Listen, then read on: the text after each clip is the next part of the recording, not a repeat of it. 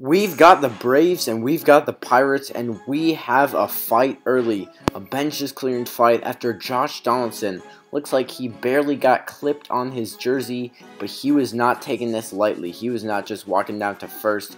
He thought Joe Musgrove was intentionally trying to hit him. He throws the catcher out of the way, and in this benches clearing fight, everyone clears out. There was three ejections, two from the Pirates being manager Clint Hurdle, and the other one being pitcher Joe Musgrove. And then for the Braves, Josh Donaldson, of course, because he charged after this pitch.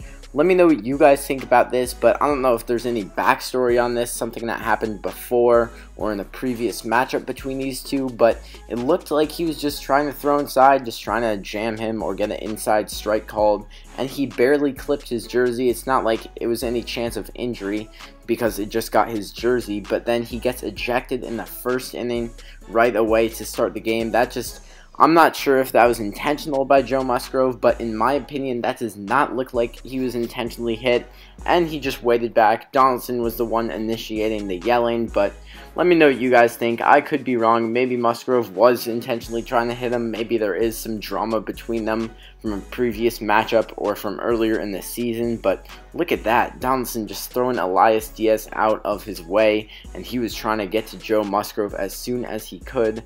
But anyways, right now this game, it is in the bottom of the fourth. The Braves have a 6-4 lead, so Musgrove being out could have really cost the Pirates maybe a game if they lose this game. Musgrove, he could have gone on to pitch a good game because Josh Bell, the Pirates MVP, got an RBI single to start off the game. But Ronald Acuna Jr. in the bottom of the second, he hit a grand slam, his 15th homer. So Braves up 6-4 as it stands right now, going into the bottom fourth. Still plenty of game left. If there's anything else exciting, I'll make sure to update you, and I'll put the final score in the comments when this game is over.